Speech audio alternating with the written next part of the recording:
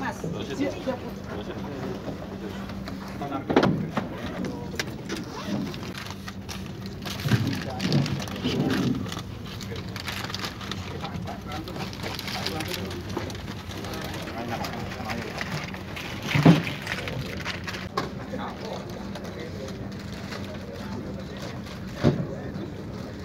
Bagaimana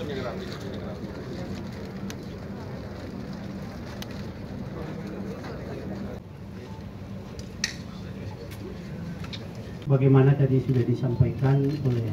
Bapak Humas dalam pengantarnya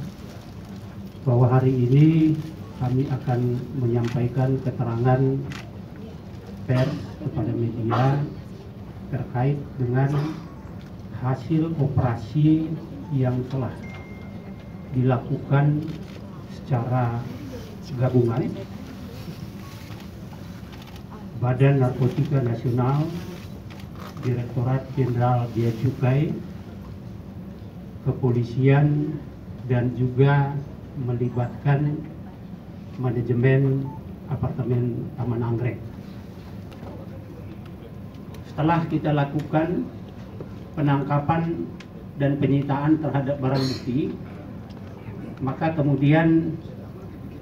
petugas mengembangkan ke tempat-tempat lain terutama ke apartemen Taman Anggrek ini. Pada saat kita lakukan pemeriksaan di dalam perjalanan,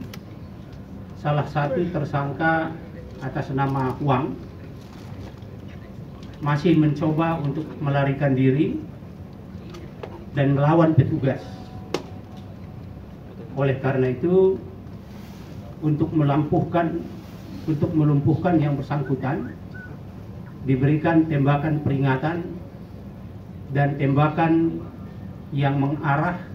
secara terukur dan tegas kemudian mengenai tubuh yang bersangkutan setelah dilumpuhkan maka petugas melakukan atau memberikan pertolongan pertama dan kesempatan itu juga langsung